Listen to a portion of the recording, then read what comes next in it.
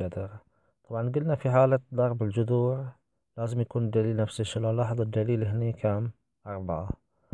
فأول شي عندي في اثنين برا راح أنزلها راح أنزل أول شي اثنين وراح أدمج الجذرين. هني طبعا دليل أربعة. نضرب العدد في العدد point five في point one two five بيطلع عندنا بالآلة point zero six two five وعندي x وعندي y طبعا راح أضرب الاكس في الاكس لاحظوا إكس ثلاثة في إكس يعني إكس ثلاثة في إكس شنو بتصير؟ طبعا هي إكس اس واحد. في ضرب الاسس نجمع. فثلاثة زائد واحد كم؟ أربعة. فراح أقول x أربعة بال y لاحظوا y تربيع y ستة. إذا ضربنا الأسس نجمعهم اثنين زائد ستة كم؟ ثمانية. فراح أقول x آه، أربعة y ثمانية. هني راح أكتب x أربعة في y ثمانية. طبعا هني هذي قلنا اثنين. هذي راح أوجد إليها الجذر الرابع الجذر الرابع إليها بيطلع لك لكم point five وعندي هني x أربعة. طبعا هني بدي x أربعة بقسمها على أربعة. فأنا بقول x أربعة على أربعة كم؟ بيكون واحد. وعندي y ثمانية على أربعة كم؟ اثنين. فهذا شنو الجواب بيكون؟ طبعا السؤال الحين هل نحط هني طبعا هذا الأس هني واحد هل نحط مطلق؟ نرجع لأصل السؤال. لاحظ ان هني هذا فردي ال x تكعيب فردي. إذا ال x تكعيب فردي خلاص يعني مستحيل هذا يكون بالسالب فهذا أكيد بالموجب فما يحتاج هني أنا أحط مطلق. فأنا راح أشيل المطلق هذا. فراح تكون الإجابة عندي اثنين في نص اللي هي واحد وأنزل ال x وأنزل y تربيع. فالإجابة بتكون شنو؟ الإجابة بتكون x في y تربيع. زين؟ لاحظ ان هني هو حط لك المطلق أصلا. هو أصلا ما يحتاج يحط المطلق. يعني أنا لو كتبت الحل كذي صح. وما خلاه في أبسط صورة فأنا أقرب حل الي هو ال A بس أنا أقول لكم هذا مو أبسط صورة. أبسط صورة هي x y تربيع بس بما إن هذا الاختيار هو الأقرب فأنا راح أختاره.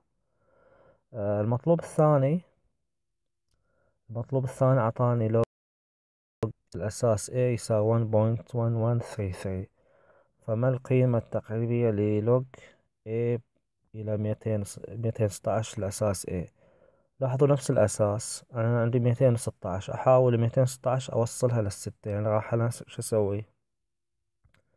راح أشيك ميتين وستة أقسمها على ستة. تطلع لي كم؟ راح تطلع لي ستة وثلاثين. ستة وثلاثين على ستة بيطلع عندي ستة على ستة في واحد فهي ستة أس ثلاثة. فأنا راح أقول هذا log طبعا واحد يقول هل أقدر أشيك هذا بالآلة. طبعا ما أقدر تشيك بالآلة لأن عندك الأساس مجهول.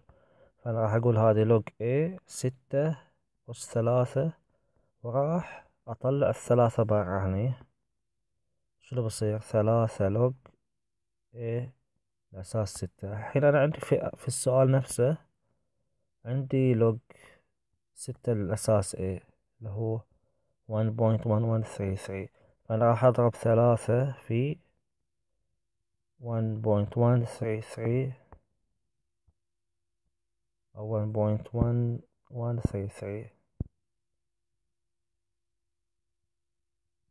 okay نضرب بالآلة. راح نشوف إن الإجابة الصح هي الإجابة C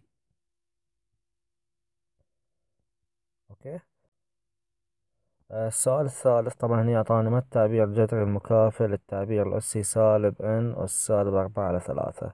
يعني هذا السؤال شوي انتبهوا لأنه شوي فيه خربطة.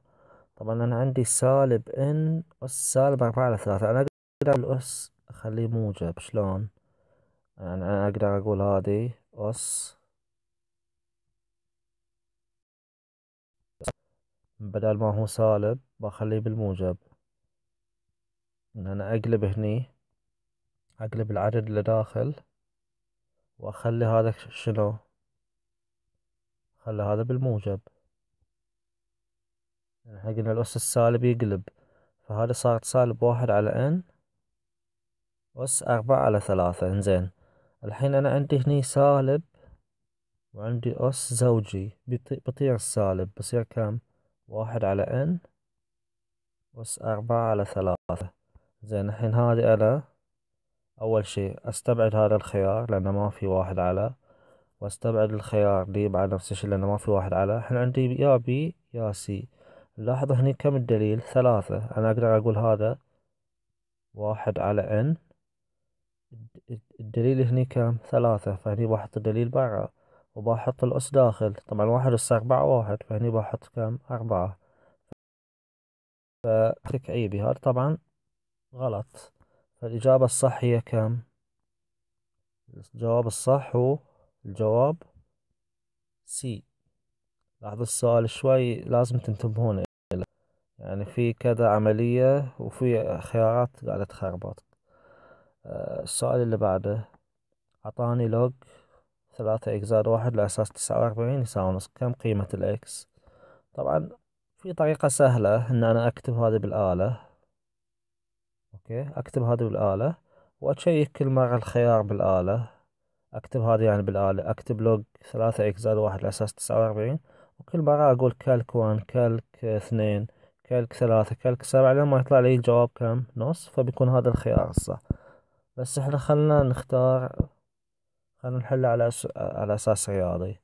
إحنا قلنا في المعادلات اللوغاريتمية بنحولها إلى معادلات أسية. فبنقول تسعة وأربعين أس نص يساوي كم؟ ثلاثة إكس زائد واحد. يعني بنقول ثلاثة إكس زائد واحد يساوي تسعة وأربعين أس نص. طبعا تسعة وأربعين أس نص كم؟ بالآلة اللي هي الجذر تسعة وأربعين اللي هي السبعة. راح أنقل الواحد هني بصير سبعة ناقص واحد كم؟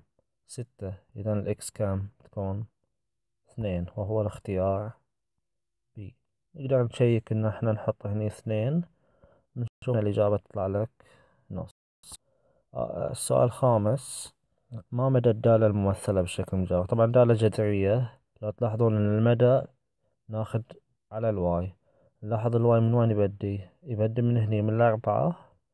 وش فيه؟ نازل يعني لازم نقول من أربعة ونازل يعني نقول أقل من أو يساوي أربعة. وهذا طبعا الاختيار D. آخر مطلوب أي مما يأتي يكافئ log log جذر 11 أساس عشرة على log آه، خمسة الأساس عشرة. هذا طبعا بما أن نفس ال log أنا أقدرهم في log واحد. إحنا قلنا في حالة إن عندي آه، جد log على على log نفس الشي فهذا قانون تغيير الأساس. يعني لازم أحط العدد هني هذا العدد اللي فوق واللي تحت يكون الأساس. يعني إحنا لو قلت لكم حولوا هذه غيروا الأساس شنو؟ تقول تقولون log جذر 11 على log خمسة ونحط الأساس أي شيء هني حط الأساس عشرة. فنختار هذا الحل log خمسة log جذر 11 الأساس خمسة اللي هو الاختيار B.